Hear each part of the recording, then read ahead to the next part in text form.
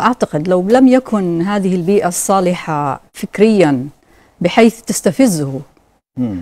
لي- ليكون لديه ما يسمى بالجدل والنقيض لم كنت أعتقد أنه لن يكون بهذه القدرة على إنتاج غزارة من هذا فهو آه. كانت لديه آه، بيئة أو فرصة مناسبة لسبر غور ما هو آه، موجود أصوليا آه، وما استفزه بمنطقه وفكره ال- النقدي وبالتالي أخرج هذا النوع من الكتابات.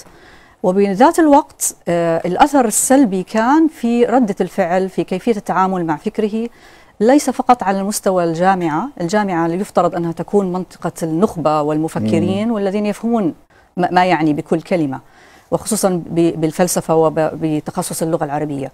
ولكن ال- الإشكالية في الجمهور والمواطن العربي البسيط والمصري الذي كان في ذلك الوقت مستفز أكثر بتمثله لكثير من الكتابات التي على مدار سنوات طويلة أعتقد أنها أثرت بشكل سلبي دون التمحيص نقديا بطريقة عقلية آه، واقعية. آه يعني حضرتك بتقولي ال- مسألة ظهور الإسلام السياسي وهذا الصدام خدم نشر الفكرة يعني يعني ها- المضاد. أعطاها الزخم.